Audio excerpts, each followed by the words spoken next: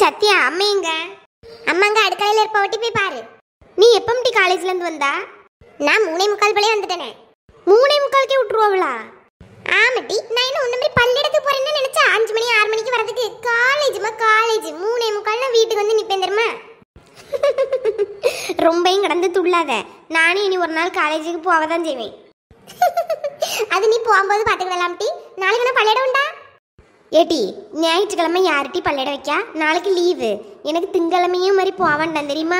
வீட்டில இருந்தே கொடியேற்ற சொல்லியிருக்காவ என்ன சொல்லி சொல்லியா? வீட்டில இருந்தே என்ன நீடி கொடியேற்ற முடியும்? பள்ளியிடத்துக்கு போனதானே கொடியேற்றிட்டு முட்டையெல்லாம் தருவாவே நான் படிக்கும்போது?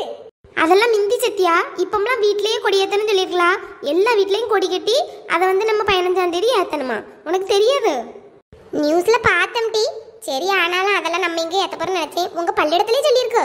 அது ஒன்று நம்ம ஒன்று ஏத்தாண்டா? தெரியவா போகுது நல்ல கதையா இருக்க? இடி போட்டோ எடுத்து அனுப்பணுமா? நான் கொடியேத்துவோம்ல அதை போட்டோ எடுத்து எங்க டீச்சருக்கு வாட்ஸ்அப்ல அனுப்பி விடணுமா சத்யா? இப்படி எல்லாம் வேற இருக்கா? இதுக்கு நாங்க படிக்கும்போது இருந்ததே பரவாயில்லம்மா. ம் என்ன செய்துக்கிட்டே புதுசு புதுசாக கண்டுபிடிக்காத. சரி நான் அம்மிட்ட போய் சொல்லிட்டு வரேன். ஆ. எம்மா என்னம்மா செய்தியே? நல்ல மனமா இருக்கு. வந்துட்டியம்மாக்கா மீன் பொறிச்சிட்டு இருக்கேன் டி. நேத்து மீன் வாங்கிட்டு வந்ததுல ஒரு நாலஞ்சு துண்டு ஃப்ரிட்ஜுக்குள்ள எடுத்து வச்சிருந்தோம்ல. அது மறந்தே போயிட்டு மத்துக்கு இப்போ தான் பொறிச்சிட்டு இருக்கேன். இப்போ நீங்க சோறு திண்டியல்ல அது கூட வச்சு சாப்பிடுங்கண்ணே. ஆ சரி. எம்மா இன்னைக்கு காலையில் இட்லியெல்லாம் வித்துச்சா? அந்த கதையை அமக்கா கேட்க. விற்காம உட்காந்துருந்தேன் சோகத்தில். இந்த சின்ன பொண்ணு வந்து ஏதோ கலவரம்லாம் பண்ணி எடுத்து கடைசியில் அவ்வளோ இட்லியும் விற்க வச்சுட்டா.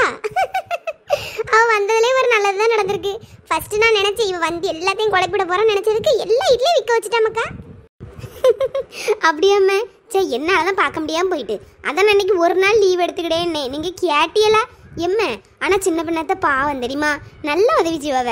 ஏதாவது விளையாட்டுக்கு சின்ன பிள்ளைத்தனமா சொன்னாலும் ஆனால் ஏதாவது ஒன்றுன்னா நம்மளுக்கு நல்லா செய்வா பத்தி இல்லாம ஆமாம் அதான் நான் ஒன்றும் சொல்லது கிடையாது மக்கா. ஏதாவது சின்ன பிள்ளைத்தனமா செஞ்சா இந்த லட்சுமி வசந்தி எல்லாம் ஏசிட்டே கிடப்பா அவளை போட்டு. ஆனால் நான் ஒன்றுமே சொல்ல மாட்டேன். பார்த்துருக்கியா? அதுக்கு தான் அவள் குணமே அப்படிதான். ஏதாவது சொல்லுவா. மாதிரி நல்லா நம்மளுக்கு எல்லா உதவியும் செய்வாள்ல. ஆமாம்மே. சரி மக்கா போ. போயிட்டு யூனிஃபார்மை கலத்திட்டு மூஞ்சு கை காலம் நல்லா கழுவிக்கிட்டு வீட்டுக்கு படியே துணியை போட்டாங்க. இருங்க நான் சாப்பாடு எடுத்துட்டு வரேன். எம்ம நாளைக்கு எனக்கு லீவு தாம இந்த துணியோடயே இருக்கேன். நாளைக்கு நீ ஒரேடியே துவைச்சிடலாம்ல. மாதிரி இன்னொருக்கா வீட்டுக்கு படிய துணியும் போட்டுட்டு மாதிரி அதையும் துவைக்கணும். உனக்கு தினமும் வேலை? இப்போ இங்கே கொஞ்சம் முன்னாடி வா. கழுத்து வலிக்கு. திரும்பி திரும்பி பார்க்க முடியல. இங்கே வந்து நின்று பேசு. வந்துட்டேம்மா. என்னம்மா இப்போ நல்லா பார்க்க முடியுமா? சொல்லு. இடி வந்தது பக்கரை வர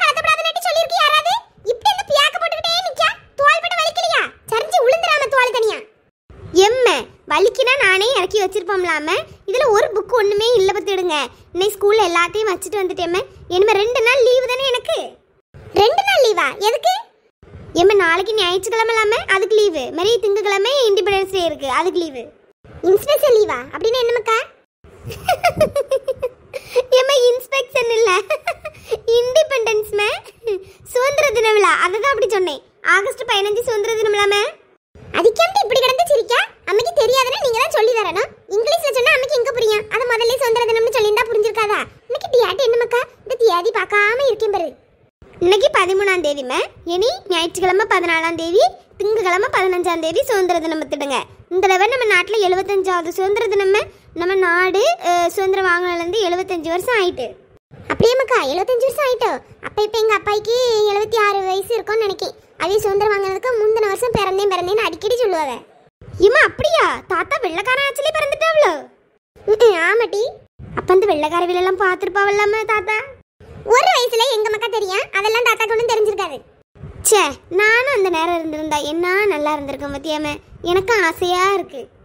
இருக்கும்ல நீங்களாம் அந்த சுதந்திர போராட்டத்துல போய் தியாகிகளெல்லாம் போயிருப்பிய? பியாசிய பியாச்சி அப்பமும் இந்த டிவி பார்த்துக்கிட்டு தின்னுக்கிட்டு மறந்து கிடந்திருப்பிய? சரிம்மா கரெக்டாக சொன்னி பாருங்க. இப்பவும் நான் டிவி தான் பார்க்கலான் இருக்கேன். சரி நான் போய் பார்த்துட்டு இருக்கேன். சோறப்பட்டு கொண்டாங்க. எடி துணியை மாத்திருக்கணும் பத்துக்க அதே துணியோட இருந்தா அவ்வளவுதான். மாதிரி மீன் பொரிச்சதும் கிடையாது அவிச்சதும் கிடையாது. சத்தியா வேற வை சத்தியா இதுல ஆடு தானே வருது. கொஞ்சம் இராமட்டி இந்த ஆடு நல்லா இருக்கும் பாரு. எடி இது எப்போ வந்தாலும் பார்க்க தானே செய்யா இந்த சென்னை சில்க் ஆடு தானே. எப்போ இதையே பார்த்துக்கிட்டு இருப்பாம்மா. ரிமோட்டை கொண்டாடி. தூர பேர் சுவாணி கோவமா வருது. எனக்கு பிடிச்ச ஒன்னே பார்க்க விட மாட்டியோ? சும்மா அவளுக்கு எப்போ பிடிக்குமோ அதை வைக்கணும். தாயாம் டீ நல்ல சோஃபால படுத்து கிடந்தெல்லாம் ரிமோட்டா வச்சு பார்த்துட்டு இருக்கா நம்மளுக்கு இருக்க கூட இடம் தர மாட்டேக்கா. கீழே இருக்கேனா இது என்ன என்னங்க சத்தம்? ஒண்ணு இல்லனா எனக்கு பசிக்குது. எம்மை எனக்கும் பெரிய பிள்ளைகள் ரெடி பசிச்சா சோறு பட்டு திங்கிறதுக்கு தெரியாது. வாயில அள்ளி தரணும் நான் வாரங்க வந்துகிட்டு சத்யா இப்போ அந்த ஆடு முடிஞ்சாச்சுல வேற ஏதாவது வையாம் டீ நான் மாத்தம்மா தாய் அங்க பாரு. இந்த டிவி பார்த்துக்கிட்டு எப்பவும் சண்டை ரெண்டு பேருக்கு அந்த ரிமோட்டுக்கு இதை வாங்கி உடச்சு போட்டாதான் சரி வருவியே நீங்க.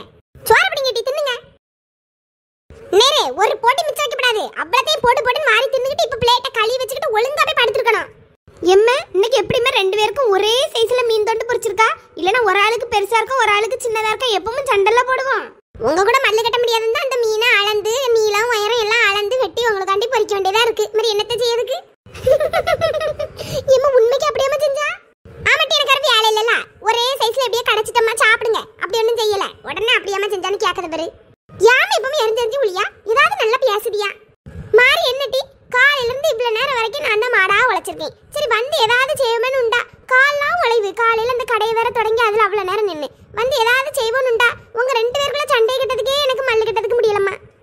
எம்ம அதெல்லாம் விடு. நான் ஒன்று சொல்லி கேட்குறீங்களா இந்த திங்கக்கிழமை நம்ம வீட்டில் கொடியேத்தணுமாம அதை வீடியோ மாதிரி எடுத்து எங்கள் ஸ்கூலுக்கு அனுப்பி விடணுமா? தெரியுமா? கொடியேத்தணுமா நம்ம வீட்டில் எப்படி கொடியேற்ற முடியா அது பெரிய பெரிய ஆஃபீஸு இந்த ஸ்கூலு அங்கே தானே கொடியேற்றுவாங்க ஆமாம்மே. ஆனால் இந்த வருஷம் எங்கள் ஸ்கூலில் அப்படி சொல்லியிருக்குமே. எல்லா பிள்ளைகள் வீட்லேயும் கொடியேற்றணுமா அதை ஃபோட்டோ இல்லைன்னா வீடியோவாக எடுத்து எங்கள் ஸ்கூல் டீச்சருக்கு அனுப்பி விடணுமா? சரி சரி. நாளைக்கு இந்த கதையெல்லாம் கேட்கேன். எனக்கு உறக்கமாக வருவேன் நான் போய் உறங்கி என்ன? சீக்கிரமாக சாப்பிட்டுக்கிட்டு தட்டை ரெண்டையும் கழுவி வச்சிருக்கணும். அங்கே அந்த சிங்கிள் அப்படியே போட்டியே. மாதிரி இருக்குல்ல. நான் அவ்வளோ பாத்திரம் பூசி வச்சிருக்கேன். அதில் கொண்டு போடப்படாதுன்னு. அப்படி கழுவி மேலே கமத்தி வச்சுக்கிட்டு வந்து உடனே படுங்க. டிவி பார்த்துட்டு இருக்காதீங்க. எம்மா கேட்டுட்டு போ நாளைக்கு கேட்டுக்கிட்டே மக்கா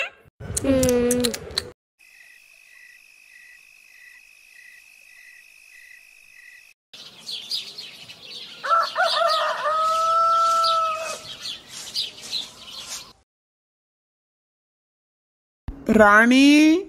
ஓ என்ன? காப்பி எடுத்துட்டு வரேன். காப்பி எல்லாம் வேண்டாம் நீங்க வா கொஞ்சம். ஓ என்ன? ஆமா நேத்து நான் ஆபீஸ்க்கு கிளம்பிட்டு இருக்கும்போது வந்து கடைக்கு என்ன பியார் வைக்கணும் பியானர் அடிக்கணும்னால இன்னைக்கு ஞாயிற்றுக்கிழமை தானே நான் ஃப்ரீயா தானே இருக்கேன். இப்ப அதை பத்தி பேசு. அங்கேயே அடுக்கலையில நின்னா எனக்கு என்னத்த தெரியும்? அப்ப வேலை செய்யாம இங்க இருந்து கதை விடட்டா? ஏதாவது ஒரு பியார் அடிச்சிட்டு வாங்குங்க. பியானர் வைக்கணும் அவ்வளவுதான். என்ன பியார் வைக்கணும் நீங்களே முடிவு பண்ணிக்கிடுங்க. எஸ் எஸ் இட்லி கடைன்னு வச்சிருவோமா? எஸ் எஸ் அது யாரு? நம்ம பிள்ளைகள் தான் ராணி. ரெண்டு பேருக்கும் சோனி சத்தியா ரெண்டு பேருக்கும் எஸ் தானே வரோம். அதை அப்படி வச்சிடலாம்ல? அதான் எஸ் எஸ் இட்லி கடைன்னு வைப்புமான்னு கேட்டேன். ஆமா பத்தியல? அப்படியே வைக்கலாம். நல்லா தான் இருக்குது. ராணிக்கா! ராணி ஞாயிற்றுக்கிழமை ஆனா காலையில வந்துருவா சின்ன பொண்ணு. அலாரம் அடிக்கவே இல்லையோ. இவ கரெக்டா வந்துருவா பாறான் வந்துட்டு அதுக்கு முன்னாடி. சும்மா இருங்க நீங்க அவளை போட்டு கிண்டல் அடிக்காதீங்க. சின்ன பொண்ணு வா உள்ள. ஐயன் அண்ணி வர இருக்கவள? சின்ன பொண்ணு மணி எட்டு ஆயிட்டு நீ வரதை வச்சுதான் தெரிஞ்சுக்கிட வேண்டியதா இருக்கு சின்ன பொண்ணு.